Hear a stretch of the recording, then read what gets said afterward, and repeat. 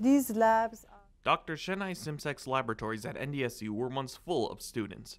The purpose of these labs was to demonstrate the chemicals and ingredients that can go into bread and other wheat products, as well as the effect they have on our bodies.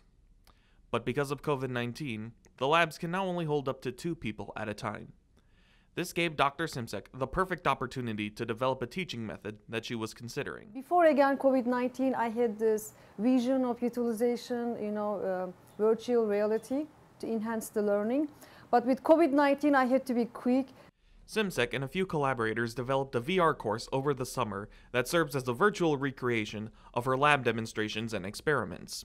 The good thing with virtual reality is when you put the headsets on, you can actually really feel like you are inside that environment. You turn around uh, and you have control over going back, moving forward.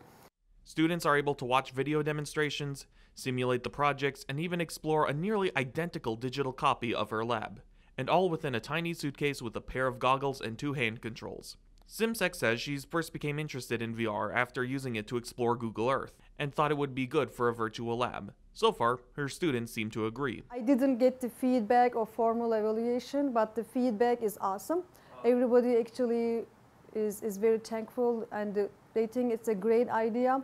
Why? Because it's much better than just sitting in the in front of computer. Dr. Simsek plans on utilizing the VR lab after the COVID pandemic is over and extending it for educational, non-college uses. I plan to use VR technology to introduce food science to K-12 students because there is so much you can do in front of them in, in terms of experiments.